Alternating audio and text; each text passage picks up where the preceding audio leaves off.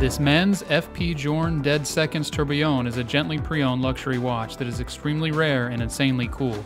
This watch belongs on the wrist of the old-fashioned adventurous leaping forward into his next journey without ever looking back at what's at stake.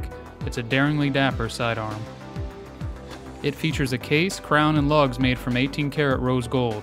The skeleton window and back gives you a close-up peek at what's going on deep within this extraordinary piece.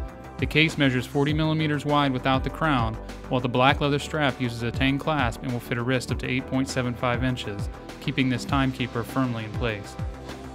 An exhibition window showcases the mind-blowing hand-winding tourbillon movement. The clock itself sits on the right side of the gold tone dial with its 60-minute marker set in a larger outer circle and the 12-hour markers circling within. You'll also find subsidiary seconds and a 42-hour power reserve indicator on the dial.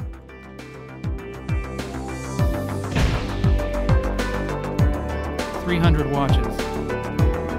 Infinite possibilities.